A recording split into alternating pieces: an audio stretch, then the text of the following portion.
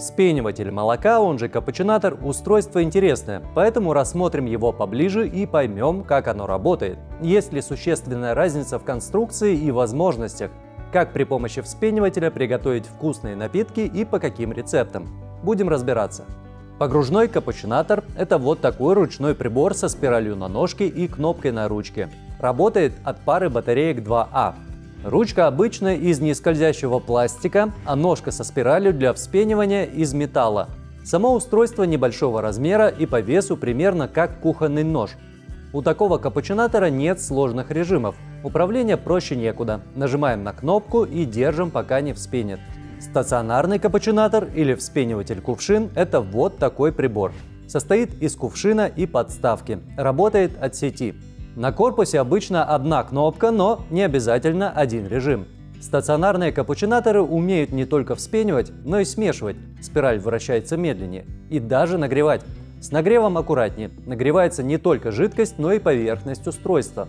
Температуры не запредельные, но ощутимые. Используйте ручку.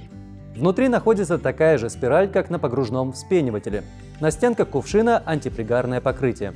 Внешняя часть кувшина сделана из пластмассы или металла, а есть вот такие цельнометаллические. Это, кстати, индукционный вспениватель. Кувшин ставится вот на такой моторный блок. Еще и кнопка сенсорная. Как этими молочными взбивателями пользоваться? Нужно молоко. Рекомендуемая производителями жирность 2,5 или 3,5%. Для ручных моделей понадобится стакан. Наполняем его наполовину, не больше, иначе пена перельется.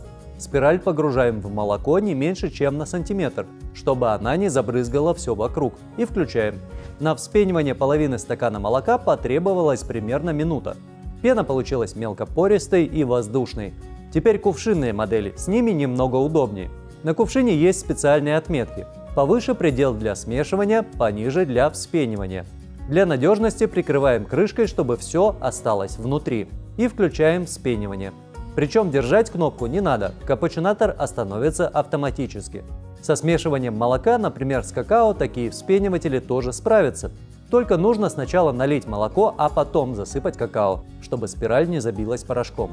Да, в капучинатор можно добавлять всякое разное и готовить интересные напитки. Начнем с рецепта домашнего капучино. Для этого нужно взбить и одновременно подогреть молоко. Вспениватель кувшин с этим легко справится. А для погружного вспенивателя придется сначала как-то нагреть молоко в сотейнике или микроволновке, только после этого вспенить. А за это время молоко уже может остыть. Переливаем в стакан и осторожно заливаем туда кофе. Получился вот такой домашний капучино. А если перевернуть рецепт, то получится корейский кофе. Для этого нужно засыпать в кувшин по 2 столовые ложки кофе, сахара и воды. Включаем на вспенивание без нагрева и ждем. Получилась вот такая кофейная пенка, которую нужно залить сверху молока. Можно воспользоваться для этого ложкой. Получается очень крепкий, но при этом молочный напиток. Ручным капучинатором тоже можно справиться, пробивая все ингредиенты в миске. Ну и самый простой рецепт – горячий шоколад. Для него потребуется молоко и измельченный молочный шоколад. Заливаем и засыпаем все в кувшин. Включаем режим с подогреванием и вспениванием. Получается вот такой напиток. С рецептами наигрались, напитки готовы, а как теперь отмыть вспениватели? Здесь проще всего с погружными. Промываем ножку и спираль в теплой воде. Главное не мочить ручку, чтобы вода не попала вовнутрь. Лучше протереть влажной салфеткой. С кувшинным сложнее. Его можно промывать только внутри и губкой туда лучше не лезть, чтобы не повредить спираль, если, конечно, она не съемная. А если молоко или шоколад присохли, то наполните кувшин горячей водой с моющим средством и дайте постоять несколько часов. После этого промойте под проточной водой. Главное, не мочите кувшин с внешней стороны, чтобы не залить контроллер. А вот такой индукционный кувшин можно промыть со всех сторон.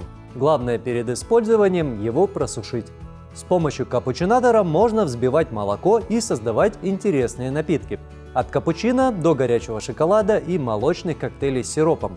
Кувшинные модели с подогревом и смешиванием более универсальны, а ручные легче мыть и хранить. Выбирайте, что удобнее. Пока!